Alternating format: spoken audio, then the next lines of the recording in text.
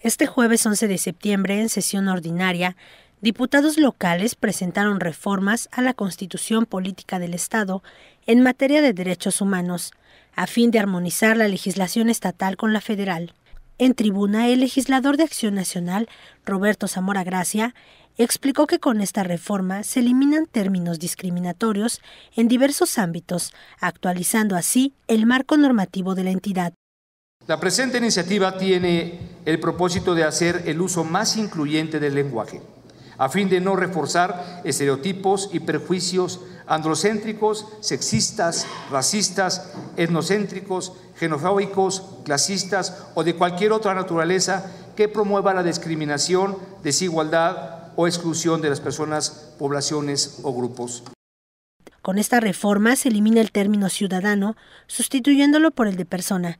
como ejemplo, la Constitución local habla de menores infractores, cuando en la actualidad el término correcto es el de justicia para adolescentes. Se cambia el término de personas con capacidades diferentes por el de personas con discapacidad, entre otros.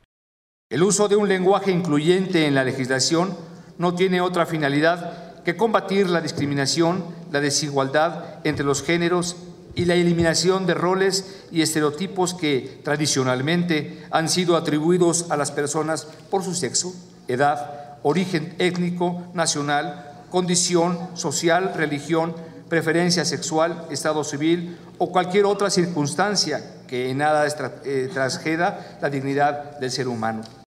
Además, eleva a seis el número de los integrantes del Consejo Consultivo de carácter honorífico y el presidente de la Comisión Estatal de Derechos Humanos podrá ser ratificado por dos años más en el cargo.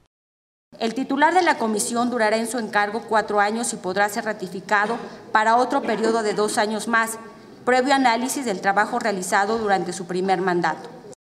Una vez que entre en vigor este decreto de reforma constitucional, el Congreso, en un término que no exceda de 15 días hábiles, nombrará a los seis integrantes del Consejo Consultivo de carácter honorífico y, en un término de 10 días naturales, realizará las reformas necesarias a la ley de la Comisión Estatal de Derechos Humanos. La iniciativa de decreto fue turnada a su expediente parlamentario para su análisis correspondiente. Con información de Adam Morales, Sistema de Noticias.